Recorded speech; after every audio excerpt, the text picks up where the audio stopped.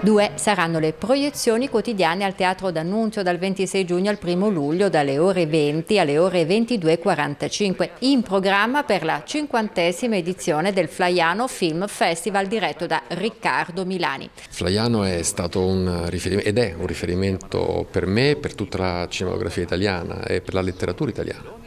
È una persona che ha avuto un italiano eh, che ha mm, messo in luce pregi e tanti difetti del suo paese, ma l'ha fatto con affetto, con ironia e anche con, eh, con, la capacità di guardare anche oltre. L'edizione 2023 ha visto un'importante collaborazione con la Cineteca di Bologna e il Centro Sperimentale di Cinematografia Cineteca Nazionale.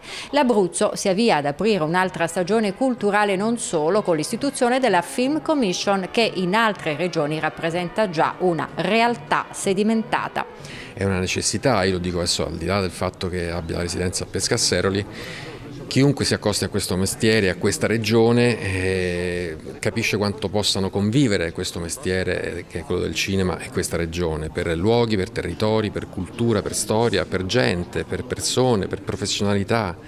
Eh, penso che anche solo considerando l'aspetto economico questo sia una, un motivo in più per spingere adesso, subito, sulla formazione della Film Commission. Un programma ricco che vedrà le proiezioni di film come I vitelloni di Federico Fellini, Il primo giorno della mia vita di Paolo Genovese, Il segno di Venere di Dino Risi e tanti altri. Il direttore artistico ha fatto una scelta secondo me importante, dettata anche dal fatto di riportare le persone in sala, questa è una cosa a cui teniamo tantissimo.